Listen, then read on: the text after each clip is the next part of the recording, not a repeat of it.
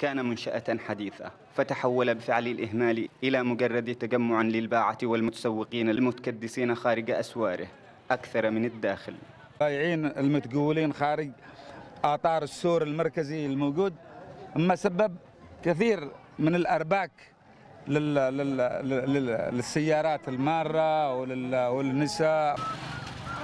يعتبر السوق المركزي في مدينة جعار واحدا من أهم المنشآت الحكومية.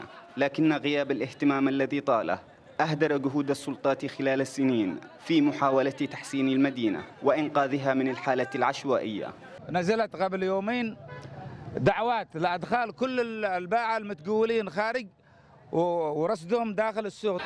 هنا يقف بائعو الخضروات بعرباتهم بينما يجلس بائع الأسماك في الجزء الداخلي منه. وبين هذه المسافة تسير شؤون السوق وسط حالة مزرية. بغي من المجالس المحلية في المنطقة والوجهة والشيوخ آه، أن ينظم السوق لأنه الناس هي اللي تنظم أنفسها. والدولة تجي شيء ثانوي ممكن الدولة. لأنه لا الصراحة لا وجود الدولة لا نحن نعيش لا دولة. الدخول إلى السوق يثير الاستغراب والتعجب من الحالة التي لحقت به بعد أن أهدرت السلطات في السنوات السابقة.